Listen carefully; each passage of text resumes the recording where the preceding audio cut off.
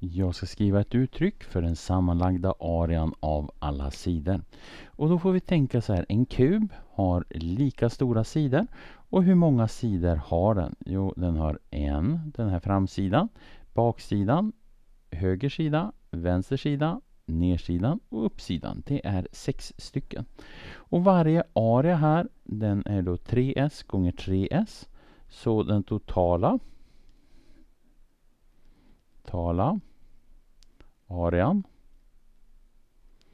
blir då 6 multiplicerat med 3s gånger 3s. 3s multiplicerat med 3s. Då har vi 6 gånger 3, det är 18. 18 gånger 3, det är 54.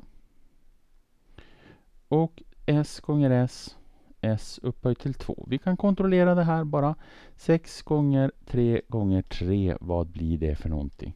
Ja, det är 54. Så här har vi den sammanlagda arean av alla sidorna.